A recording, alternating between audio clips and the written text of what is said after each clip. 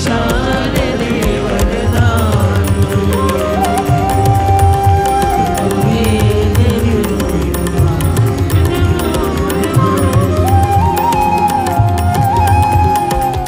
कृष्ण ने अपने मामा कंस को मारा था तो मैं अपने मामा को मारूं तो क्या गलत? भागवतम श्रवण के बाद ऐसा प्रश्न, कृष्ण और कंस हमारे भीतर है। विवेक बुद्धि नहीं है, तभी बच्चे ये प्रश्न पूछते हैं।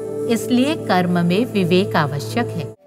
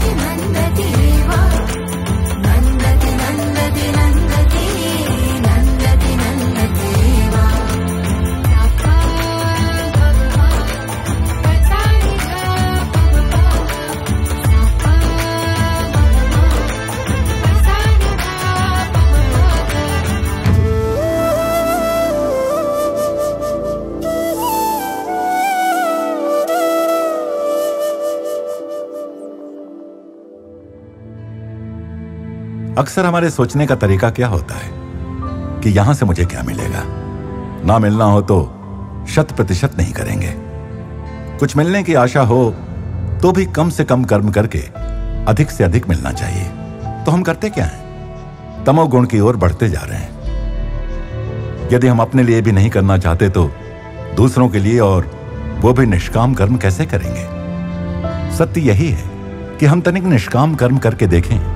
तो पाएँगे कि कोई दिव्य शक्ति हमारे भीतर भरती जाती है, ताकि कर्म कराने के लिए श्रेय का मुकुट हमारे सिर बाँध। दे हमें निमित्त बनाकर स्वयं करता धरता होते हुए भी पर्दे के पीछे छिपी रहती है। इसका आदर्श उदाहरण स्वयं अम्मा हमारे सामने प्रस्तुत करती हैं। निष्काम कर्मों से परिपूर्ण जीवन का भी और श्रेय अपने बच्चों को देने का भी प्रेरणा का अखंड स्रोत। अम्मा ने सदा कहा है और करके भी दिखाया है कि खाली बैठकर जंग लगने से बेहतर है। हम कुछ करते हुए घिस कर मर जाएँ। अम्मा कहती हैं, बच्चों बनो अगर बत्ती जैसे। दूसरों को सुगंध देने को स्वयं को फूंक देती है। बच्चों बनो उस वृक्ष जैसे। छाया दे जो उसको भी जो लोग इसे काटते हैं। त्याग करो और सेवा करो दूसरों की। जैसे दूसरों को प्रकाश देने की खातिर मोमबत्ती स्वयं जल जाती है। पिघल जाती है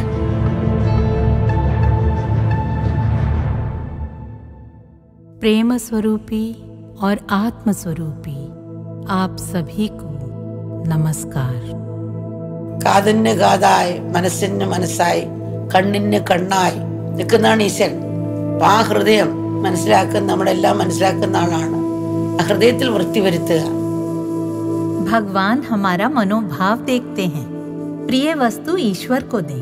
पुराने जमाने में खीर आदि लोगों को प्रिय थी। लोगों को अक्सर मीठा पसंद था तो भगवान को खीर अर्पण करते थे। वो स्वभाव से ही मधुर है। नैवेद्य हमारे मनोभाव का प्रतीक है, इसलिए अपनी प्रिय वस्तु अर्पण करते हैं। लोगों को प्यारा है पैसा, इसलिए मंदिर में आरती के समय पैसे देते हैं। मोह वाली वस्तु का अर्पण, मन अर्पण करने की प्रक्रिया है। ऐसा निष्कलंक हृदय करें, ईश्वर को समर्पित। कानों का कान, मनों का मन है वो, आँखों की आँख। आँखों की आँख जो है, वो है ईश्वर। हम सब हृदयों के सर्वंतर्यामी ईश्वर का आवाहन करें। हृदय में आवाहन करें, पारंपरिक पलनी तीर्थ यात्रा पर जाने से पहले मेरे बच्चे को स्वस्थ करना भगवान इस संकल्प से भिक्षा मांगने जाते हैं। वे घर घर जाते हैं और भिक्षा मांगते हैं। फिर धनाढ़ हो या भिक्षुक, बिना भेदभाव के भिक्षाटन को निकलते हैं। कोई भिक्षा देता है, कोई नहीं, कोई गाली देता है तो कोई थूक भी सकता है। इस प्रथा का उद्देश्य सहनशीलता पैदा करना है, ऐसा अम्मा का मानना है। इस सबसे हमें बहुत कुछ सीखने को मिलता है। अम्मा के बाल्यकाल में इस गाँव में न सड़क थी, न बिजली बिजली तो काफ़ी बाद में आई। उन दिनों आकाश में प्लेन दिख जाता तो बच्चे खुशी के मारे प्लेन प्लेन कहकर चिल्ला उठते। उनके लिए कौतूहल था। हमें कभी स्कूल एक्सकर्शन पर तो ले नहीं गए। गवर्नमेंट स्कूल थे। ऐसा था हमारा गाँव। न सड़कें, न सेतु, कई किलोमीटर तक कोई सेतु नहीं।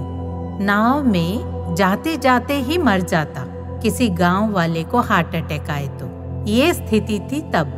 गाँव के बच्चे रस्सी में गाड़ी की भावना करके खेलते थे।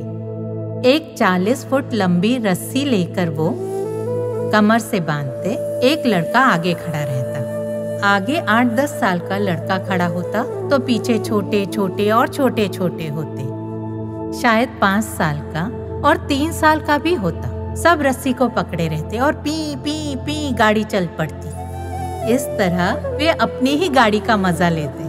रस्सी पकड़े रखते। मानो सचमुच बस में यात्रा का आनंद ले रहे हों। बड़े आह्लादित से दौड़ते भागते दिखते। बस ओरिजिनल नहीं थी, पर बच्चों का निष्कलंक मनोभाव और विश्वास था कि रस्सी गाड़ी है। आनंद सच्चा था। यहाँ उनकी निष्कलंकता ध्यान देने योग्य है। यद्यपि निष्कलंकता है। फिर भी आगे वाला बच्चा यदि स्पीड से चलाए तो पीछे वाले सारे बच्चे गिर जाएँगे। निष्कलंकता अच्छी है, पर विवेक भी चाहिए। गाड़ी स्पीड से चलेगी तो पीछे वाले बच्चे छोटे हैं और छोटे बच्चे सारे गिर जाएँगे। तो आगे वाले को धीमे चलना चाहिए। चालक बच्चे को चलना है। आगे वाला बच्चा पी पी करके दौड़ेगा तो सारे गिर पड़ेंगे। इसलिए सामने वाले को बोध पूर्वक चलना है। इसीलिए निष्कलंकता के साथ विवेक का होना भी आवश्यक माना गया है। स्पेशली लीडर्स के लिए निष्कलंकता और विवेक दोनों, मन और मस्तिष्क दोनों ज़रूरी हैं, किसी भी कर्म के लिए। तिस पर हमारे कर्म धर्म पर आधारित हों जो कि हर व्यक्ति के लिए हर परिस्थिति में निर्धारित है। किंतु आजकल अक्सर लोग गलत काम करने, अपराध करने में ही इसका दुरुपयोग करते हैं। युद्ध क्षेत्र में सैनिक युद्ध करे तो दोष नहीं, लेकिन कोई आम नागरिक सैनिक जैसा कर्म करने लगे तो? सैनिक मार सकता है तो मैं क्यों नहीं? श्री कृष्ण ने अपने मामा कंस को मारा था तो मैं अपने मामा को मारूं तो क्या गलत? भागवतम श्रवण के बाद ऐसा प्रश्न, कृष्ण और कंस हमारे भीतर है। विवेक बुद्धि नहीं है, तभी बच्चे ये प्रश्न पूछते हैं। इसलिए कर्म में विवेक आवश्यक है। निष्कलंकता के साथ विवेक हो तो सफलता निश्चित है। सांसारिक कामनाओं, इच्छाओं के पंजे से बचने और मोक्ष प्राप्ति की अभिलाषा हर साधक के मन के किसी कोने में होती ही है। सांसारिक जीवन साधन है ईश्वर प्राप्ति के मार्ग में बाधाओं को मिटाने जैसे नदी में स्नान करके वापस तट पर चढ़ाते हैं। कोई नदी में स्नान करने जाता है तो कोई अपनी सफ़ाई के लिए या ताजगी के लिए। वो वहाँ डूबने के लिए नहीं जाता, उतरते हैं तट पर लौटने के लिए। उसी प्रकार सब कर्मों का प्रयोजन है ईश्वर प्राप्ति। तो हर कर्म द्वारा धर्म में मूलबद्ध रहें।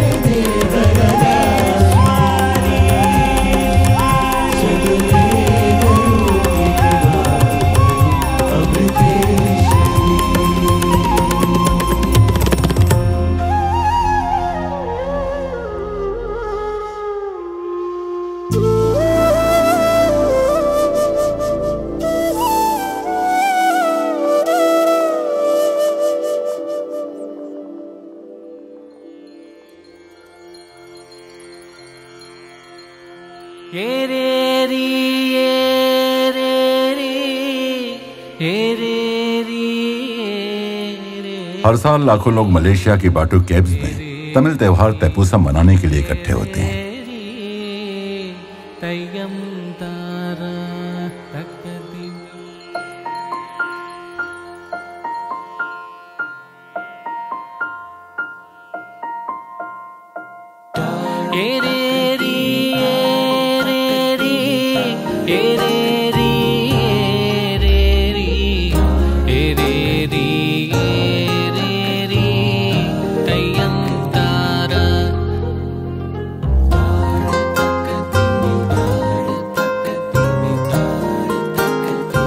मलेशिया में होने वाले भव्य मुर्गन उत्सव मलेशिया की समृद्ध पुरातन परंपराओं के परिचायक है यहाँ 140 फुट ऊँची मुर्गन की मूर्ति है।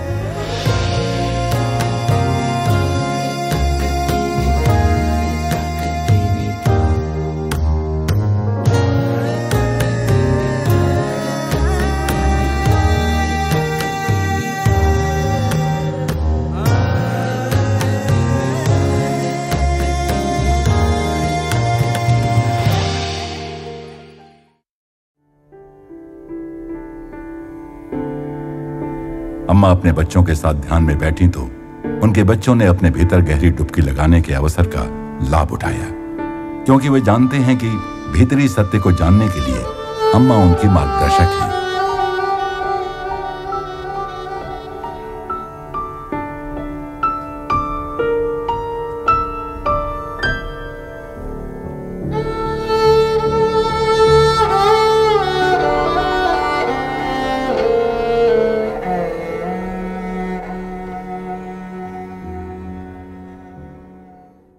अम्मा ने दर्शन देने शुरू किए।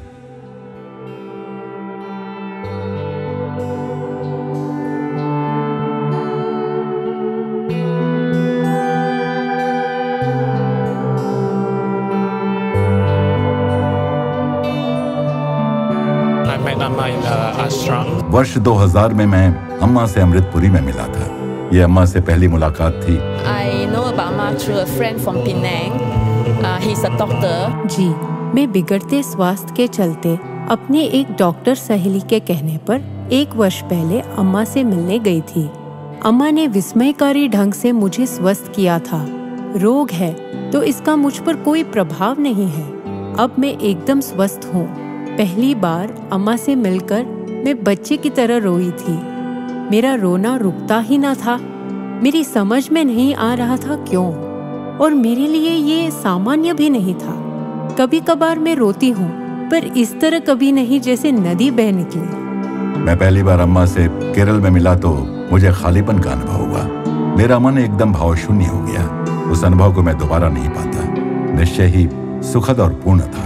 मैं नहीं जानता इस प्रकार के शुद्ध सुख के अनुभव का शब्दों में वर्णन करना संभव है या नहीं। परमानंद की अनुभूति। कभी याद करता हूँ तो मैं केवल आश्चर्य से भर जाता हूँ। I mean, I feel good. Yeah, really good.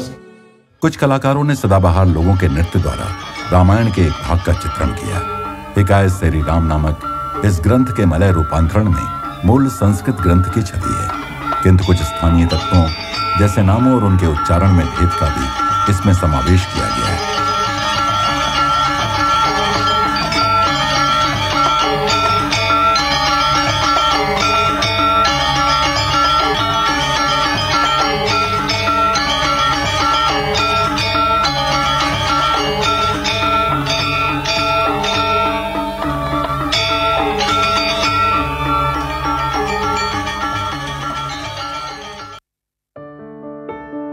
दर्शन लेते समय भक्त बिल्कुल चिंता नहीं करते कि क्या हो रहा है, बल्कि उस अनुभव को अपने ऊपर हावी होने देते हैं। इस समय वे कुछ ऐसा कह या कर देते हैं जो वे अपने सामान्य दैनिक जीवन में नहीं करते, जैसे अपने सब दुखों को उजागर करना, खुलकर हंसना या फूट फूट कर रोना। संभवतः वे कुछ भी ना सोच पाए, मूक बनकर अम्मा की बाहों में बैठे रहें। वे जानते हैं कि यह अनुभव और किसी भी अनुभव से अलग है, और वे चुपचाप समर्पित बैठे रहते हैं, अपनी माँ की बाहों में फिर एक बच्चे होने के क्षण के प्रति समर्पित।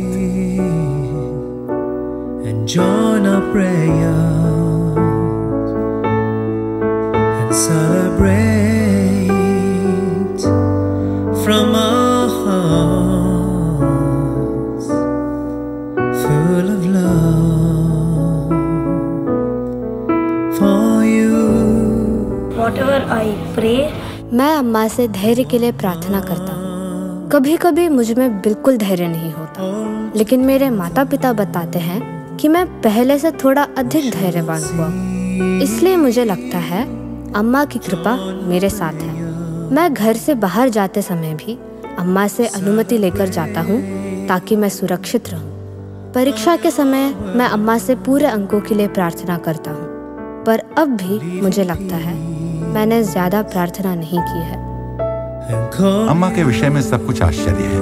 वो अपने दिव्य सानिध्य से विश्व को प्रकाशित कर देती है और उनके बच्चे एक वात्सल्यमयी माँ के रूप में अवतरित ईश कृपा के सम्मुख विस्मय पूर्वक ठगे से बैठे रह जाते हैं।